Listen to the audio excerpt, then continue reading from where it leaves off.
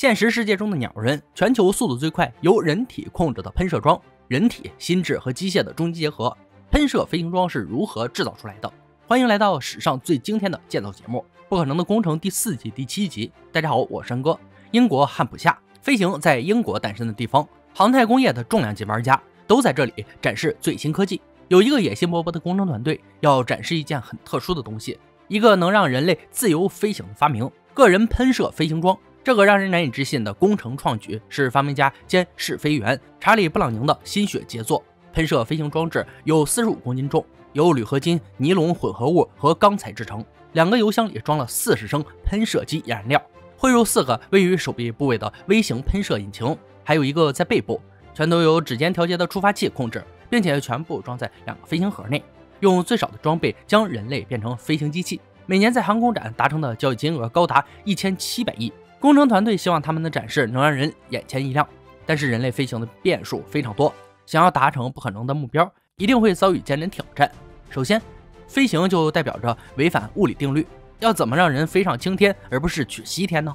一旦升空，又要如何安全操作呢？工程团队必须向过去的先驱学习。一、装置形态，人类最早的灵感来自于大自然。工程师林塔尔是第一位鸟人。一八七零年代，他开始设计一系列的有益机器。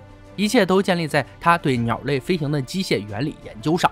二十年后，他制造了第一个滑翔翼。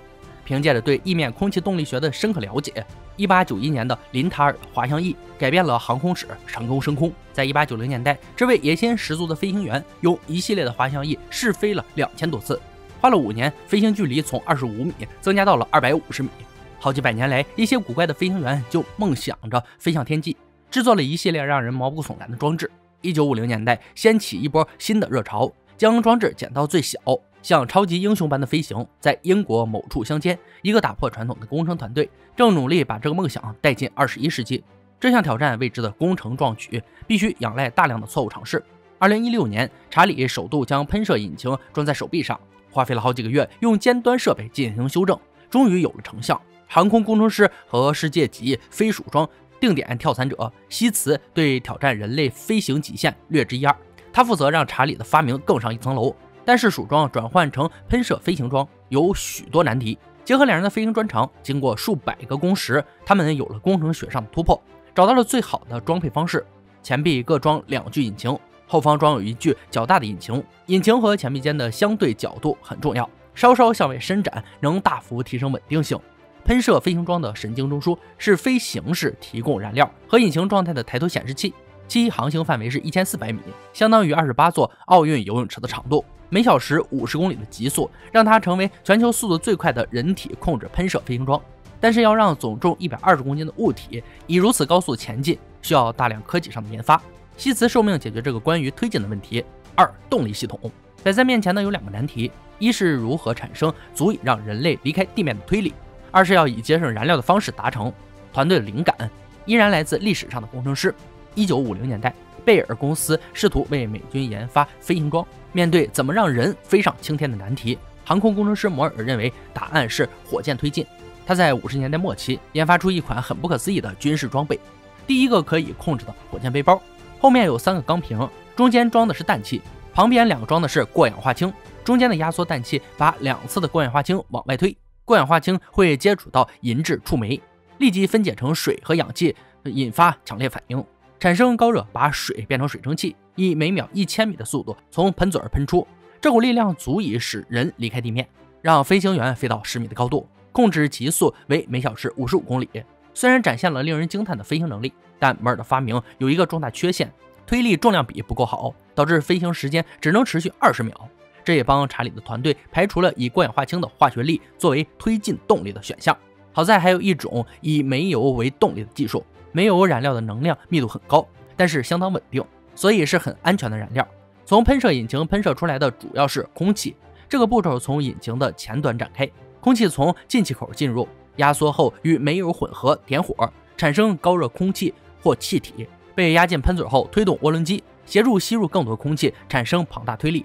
团队花了好几个月秘密测试设施，研发特制的喷射引擎和燃料涡轮机，成果是燃气涡轮机技术的巅峰制作，每分钟十一万七千转，气体喷出的速度超过两千七百公里，全装上飞行装，可以产生近一千匹马力，相当于人体拥有两辆法拉利的动力。这款质地小巧的引擎大幅增加了飞行时间。短短一年的时间，工程团队的成果从勉强升空到可以飞行四分钟。下一个面临的问题是如何自由行动。一九八四年，航天总署工程师威塞特想出一个能让太空人自由行动的方法，让他们可以在太空梭外进行无缆索飞行。这项发明也许能帮上飞行装团队。三、操控系统，简称 MMU 的载人机动装置，让人类首度进行未系缆绳的太空漫步，在无情的环境中拥有全然的操控性。这种令人啧舌的机动性是拜精准控制推力所致。飞行装的八个角落各装了三具推进器。角度各有不同，提供了精巧和不费吹灰之力的操纵性。十二公斤的氮气提供了可飞行六小时的推进力。虽然很成功，但在太空中的无缆索飞行被认为太危险，MMU 最终还是被淘汰了。不过，它确实给了飞行团队很大启发。不同于 MMU 的驾驶必须移动或引导引擎的喷嘴以得到精准控制，飞行装使用手臂来引导。他们的方法是使用三个主要的推力点，形成稳定的空气三脚架。五个引擎喷嘴都是固定的，手臂上可以用来简单的动作调整，形成喷射飞行装独有的稳定三点向量控制系统。他们在水上花了很长的时间调整这些先进喷嘴引擎的操控。尾随灵活的水上摩托车是微调控制技巧最好的方式，但是飞行的风险总是很高的，必须在飞行时进行及时监控，确认五具引擎都能顺畅运转。接下这项通讯挑战的人是工程师威尔森。四通讯系统团队提出的解决方案很有科幻片的味道。喷射飞行装使用的最新的发动机控制单元工程，尖端电子系统监控每一具引擎，以达到最佳效率。最先使用抬头显示器技术的是战斗机飞行员，所有重要资讯都投射到飞行员的眼前。这个方法很棒，不管面朝哪里，都可以在正前方及时看到所有引擎系统资讯，让安全大大提升。长达十五个月的过程中。喷射飞行装团队想要傲视群雄，必须要有超快的制造技术。幸亏历史上已经有工程师提出了解决方案。五、快速生产。